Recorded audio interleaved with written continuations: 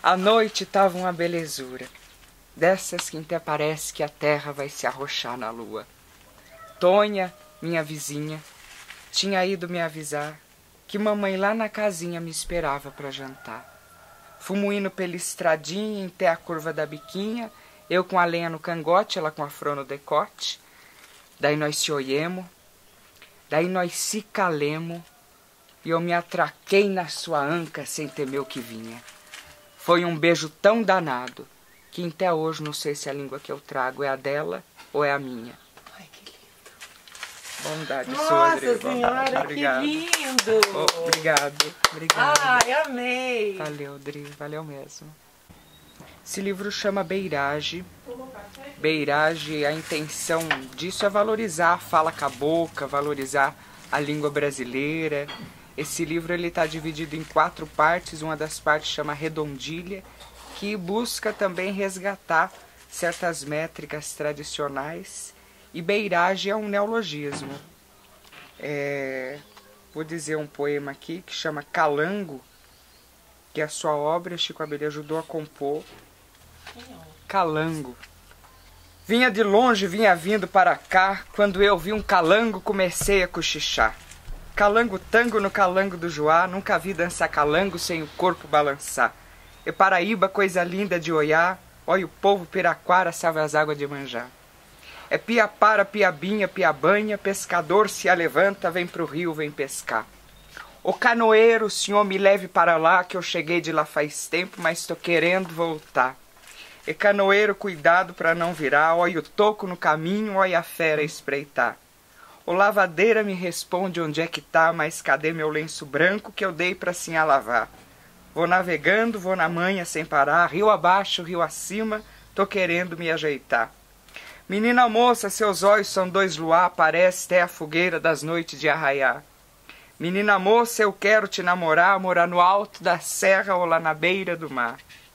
Ô minha gente, vim aqui calanguear que não é pra vocês julgarem pra quem cada um se dá, que a coisa boa é mesmo de admirar, a coisa melhor que existe nesse mundo é amar. Ô minha gente, vim aqui calanguear, eu vou indo de canoa, que é pras pernas não cansar. Quando eu chegar, vou depressa regressar, que eu deixei meu pai doente e minha mãe passando mal. Calango tango no calango do Joá, quero ver dançar calango até o dia clarear. Calango tango no calango do Joá, aprendi a cantar calango, vendo os outros cantar. Muito legal. Bondade sua, André, bondade sua. Aí, Jorge, se apresenta. Quem é você? Seu nome, onde você nasceu? George Furlan, eu nasci em Franco da Rocha. Franco da Rocha é uma cidadezinha da Grande São Paulo. Nasci no Juquiri, numa sexta-feira da Paixão, no dia 9 de abril de 1993. E vim para cá, para São José, em 2013. Eu conheci essa cidade apresentando no Mapa Cultural Paulista uma peça chamada Cordel do Amor Sem Fim. Aí eu conheci essa cidade, fiquei apaixonado por ela. Isso foi em 2012. Em 2013 eu estava vindo morar nessa terra. Casei, descasei, perdi uma criança. Em 2017 escrevi um poema para criança. Essa terra é maravilhosa. São José é um celeiro e tanto. É uma terra muito, muito boa. Ô Jorge, quando te perguntam o que, que você é, ou quando você vai preencher aquelas fichas de hotel, de sei lá, de qualquer coisa, que pergunta a profissão, o que, que você escreve? Eu tenho colocado artista, mas eu estou no sexto semestre de letras. É, eu sou produtor cultural, mas artista é uma coisa bem genérica, sabe? É, o Sérgio Vaz, ele é um escritor, ele é um escritor marginal e ele diz uma coisa muito sábia que todos nós somos artistas, que tudo que, que é feito de alma, com verdade, através de certa técnica, é uma arte. Então na cozinheira, na, na cozinha, a cozinheira é um artista, né? É, no, no, no, estádio, o jogador é um artista. Então acredito que todos nós somos artistas, apesar de eu usar isso para descrever a profissão. É o seu primeiro livro? É o meu primeiro livro e foi um sonho, um sonho de vida. É um, é um manifesto também esse livro, Beirage. E ele tem o apoio da Prefeitura Municipal de São José dos Campos e da Fundação Cultural Cassiano Ricardo. Uhum. E esse livro, ele é fruto do projeto Literatura Fractal e Acessibilidade.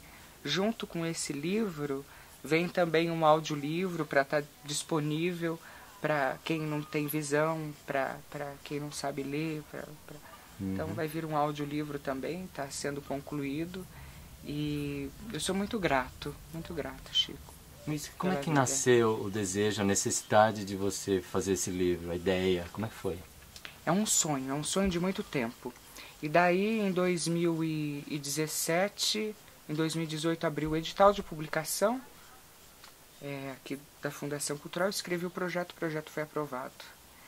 E a intenção desse livro é, sobretudo, ser, é, ser um, um recorte dos acontecimentos do nosso tempo, da cultura, da vida social. Eu posso compartilhar mais um poema? Claro, então, porque aí o li- Maravilha. os poemas vão falar, né? Sim. É um livro que é para justificar o silêncio também, né, nas rodas de amigo. É um livro que pra preencher o para silêncio. preencher, para preencher, para justificar, sabe? Porque às vezes a gente fica fica no silêncio, né? Só ouvindo, só absorvendo, como no nosso almoço, no nosso café da manhã, eu absorvendo tudo aquilo que vocês estavam trazendo, que vocês trazem. Então é um livro que é, é- é uma parte de mim, né? Todo Ah, é justificar o teu silêncio. É o meu silêncio. Ah, tá, é a tua né? voz, né? É a minha voz. Ah, agora entendi, tá. Eu acho que um livro é isso, né? De, de, de uma pessoa que escreve Projetos. projetos futuros. É, pode ser do passado também, se você... você pode projetar do, do seu passado. Verdade, verdade. Mas falando a respeito do futuro, é continuar fazendo saraus, continuar fazendo o que eu faço. Eu tenho uma peça de teatro também chamada Caroline Zé Vicente, que deu origem também àquele cordel que, que eu te presenteei. É, esse espetáculo, Carolina Zé Vicente, também foi construído com financiamento público, com o Fundo Municipal de Cultura. E a intenção desse espetáculo é valorizar nossa cultura e também botar nossa voz a valer. É, então, continuar com esse espetáculo, continuar apresentando, é um projeto. É, a universidade, eu tenho uma pesquisa é, sobre a língua brasileira, porque a nossa língua é cheia de peculiaridade. E é isso que faz com que a nossa língua seja tão bonita. É, eu acredito nisso. Deixa eu compartilhar mais um poema contigo. Eu fiquei curioso, o projeto sobre a língua portuguesa, né? Sim. O que, que é especificamente que eu gosto muito? Então, veja, é, os estudiosos da língua, os linguistas, eles já separam a nossa língua da língua de Portugal. É o português brasileiro e o português de Portugal. É, alguns dizem que é inevitável que haja um divórcio futuro entre as duas línguas. Tem um linguista chamado Marcos Banho, que é uma referência nos estudos da língua na atualidade, e ele, ele diz o seguinte, que a nossa língua, ela, devido a todas essas variações, já é uma língua outra da língua praticada em Portugal. E daí a gente aprende na escola que muito do que a gente fala é errado e, e não é errado. Né? É claro que se a gente vai escrever um documento, alguma coisa, tem um contexto. Então, é, é essa coisa de contexto, não certo e errado. Né? Então, tem um contexto para a gente usar a língua de uma forma e um contexto para a gente usar a língua de outra forma. Mas tem muitas variações da nossa língua que, que vieram de Portugal, como, por exemplo, a coisa de falar, da fala mineira, fruita. Essa variação já veio de Portugal para cá. Já tem uma coisa lá em Portugal, já nas áreas mais rurais, já tem esse tipo de variação. Agora tem a coisa que é o R retroflexo, de porta, porteira, que é o que a gente fala nos interiores e na maior parte do Brasil. Esse R retroflexo, ele nasceu aqui. Ele nasceu devido aos indígenas, aos negros não conseguirem falar essa, essa, essa coisa, não conseguir pronunciar outra forma de R, então esse R retroflexo, ele veio, ele é o R brasileiro. legitimamente brasileiro. O R de porta, ele veio de Portugal. Porta, quando a gente suprime, ele veio da fala francesa. Ah, do- que então, eu, que é. que o maranhense... Porta. É o francês. É meio É o francesado. porta. Do, do Rio Mas também. é porque Do lá Rio teve também. colonização é, a colonização francesa, né? francesa, é isso É. aí. Nossa, É, que interessante. é O. Villegagnon, não? É. A coisa de abrir as vogais também veio da fala dos negros para cá também a coisa de contração, a contração é, comprar, o pegar, o cair, o- essa coisa também veio da fala dos negros. E cada variação enriquece a nossa língua. Não é um prejuízo a nossa E conta língua. uma história E também, conta né? uma história. Aí, Chico, e conta uma história. Então eu, eu isso me interessa muito e a, a minha pesquisa, meus projetos assim vão vão nesse sentido. Por isso beirage, por isso beirage, por isso esse neologismo. E não é beiragem, Não é beiragem. beiragem, é beiragem. É, já comeu também. É, já contraiu. Compartilhar isso contigo, Chico. Orai. Glória a Deus nas alturas e paz na terra entre a gente. Hare Krishna, Hare Krishna, Krishna Krishna, Hare Hare. Louvado seja nosso Senhor Jesus Cristo. Ave Maria, cheia de graça. Ora ieieo, okearo e pababá oxalá. Tenho a força da fé, a força da flecha, da lança, da dança, do vento, das águas, do fogo, da terra, do trovão, a força do corte do machado, da locomotiva, da fêmea do macho e da construção, a força do alecrim, guiné, arruda e manjericão. Já chorei lágrimas de sangue da dor do açoite, da tortura, do estupro e da escravidão. Sofri com a dor da ferida, dor da partida, da morte e da traição. Por isso não tenho medo de nada. Varo a mata fechada, o ventre do mundo, o fundo do mar. Não tenho medo de nada. Nado na lava, nos fluidos quentes de sábias meninas, no rio solar. Moro na casca da lima, na rima, na mina, nas tuas pupilas, no caroço do joá, na flor do maracujá. Não tenho medo de nada. Corto sem fazer sangue e engulo sem mastigar. Não tenho medo de nada, que nossa heterogeneidade muito nos sagra. Falo por mim enquanto fruto construto de raça. Sou navegador, índio caboclo, preto pelejador e por isso rendo graça. Glória a Deus nas alturas e paz na terra entre a gente. Hare Krishna, Krishna Krishna, Hare Hare. Louvado seja nosso Senhor Jesus Cristo. Ave Maria, cheia de graça. Ora ieieo, okearo e pababá oxalá, saravá. Saravá. Que maravilha. Posso fazer um no pandeiro, Chico? Maravilha, maravilha. Pegar o pandeiro. Essa música, ela quem trouxe ela a público foi o Mário de Andrade, que também foi um estudioso da língua e uma vez ele já apresentou um projeto para fazer da nossa língua brasileira. A nossa língua se chamar brasileira, mas na verdade o nome pouco importa, o que importa é a funcionalidade. Então essa música quem trouxe foi ele.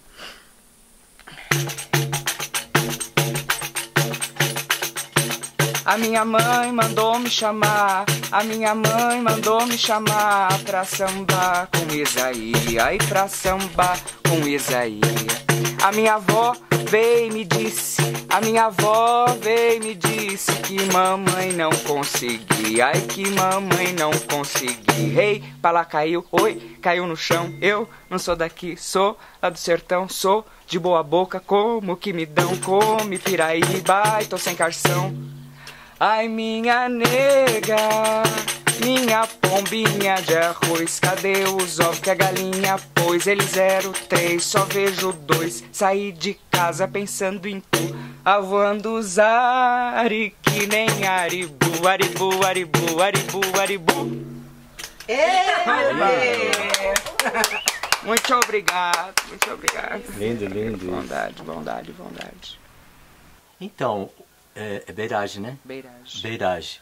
Como é que é a distribuição disso? Tá venda? Tá... Pois é, esse livro, ele, o projeto foi para construir 5 mil exemplares. É, eu não vou ganhar nada, Uhum. por isso eu vou vender o livro. Sei. Tem outro, outros projetos que foram apro- aprovados, com a tiragem até menor, inclusive, e com distribuição gratuita. Esse livro, 10%, 500 deles, desse, desse, da tiragem total, vai estar nas bibliotecas, algumas escolas estaduais, bibliotecas comunitárias daqui. Mas eu vou vender esse livro. Tá, quanto vendido. custa e qual o contato? Dentro do período do projeto ele vai ser vendido a 15 reais, mas depois a 30 Tá, pelas editoras, nas melhores livrarias tá. do, do, do Brasil. Então na- pode pedir Sim, vocês, você manda sim. pelo correio? Sim, envio pelo correio. 15 pela reais mais a editora- despesa. Mais a despesa. Mas pela editora Casuá também. Pode é, comprar lá. Pela editora Casuá. Também tá, vai estar nos, nos portais todos de venda de livro. Tá, e você pode botar o seu Com Seu certeza. zap aqui? Com Pode falar, certeza. É o 12 99655 1363. Beleza. Beleza. E o audiolivro acompanha isso ou é a parte? O audiolivro ele também vai estar disponível nos sites de hospedagem de, de áudio, que é o Spotify, Spotify, Deezer, iTunes, né? é, SoundCloud. SoundCloud. Esses portais todos vão estar disponível, o disponível. audiolivro E, é, e é grátis? e é grátis. É grátis. Inclusive é grátis o audiolivro. Mas vai ter na forma de. CD também? Não. Não, na Não. forma de CD, só quem vai receber vão ser as bibliotecas, mas ele vai estar disponível, Disponível, online. então, online. Sim, Como é que é o nome? Beirage. Beirage. Tem que associar o seu nome, Jorge? Não, ou não? Vai estar com só Beirage e audiolivro. Audiolivro. Tem um blog também chamado Verbofagia. O endereço é verbofagia.blogspot.com. E daí o audiolivro também vai estar no, no blog. Vamos encerrar com um. Vamos? Um poema assim? É. Maravilha, bem tranquilinho. Tem um que chama Folia do Multirão, que ela é baseada num, num canto de tropeiro. O canto é assim: Você me chamou tropeiro, eu não sou tropeiro, não. Sou arrieiro da tropa Marcolino, o tropeiro é meu patrão. Aí eu chamei de Folia do, do, trope- Multirão Do mutirão, é. folia do mutirão e é assim meio meio vermelho, sabe? O poema é meio vermelho. Mas o mutirão é vermelho, né? Não mesmo, né? Não, mas é, porque É? era- O mutirão é socialista. é social, porque as pessoas se ajudavam, era uma economia mais. é, inclu- incluía todo mundo, né? Não, Cristo é socialista. você trocava, né? Não tinha moeda, a moeda era o seu trabalho, né? Eu acredito nisso pra hoje. Pra né? hoje, pra agora. Então, a gente tá vivendo isso. Quem quiser tá vivendo, porque isso acontece ainda. É só você não ter medo, né? De, de quando você dá, você acabou, né? Não, quando você dá, aquilo multiplica. É verdade. E volta, né? É verdade. E essa é a magia, É a né? magia. Você chama eu comunista, mas não tenho nada não. Eu trabalho para comer, só quem tem é meu patrão. Alma dói a quebradeira, chicote deixa vergão, cacetete quebra costela, Marcolino, mas não quebra opinião. Escorre sangue nas favelas, nada novo sob o sol. Criança se prostitui, vende balas no farol. Vem chegando os comunistas, começou a insurreição. Chama os donos da fazenda para ouvir a solução. Justiça ao povo que luta pelo pão e pelo chão, liberdade, igualdade e amor no coração. Companheiros me ajudem, que eu não posso cantar só, eu sozinho canto bem, com vocês canto melhor.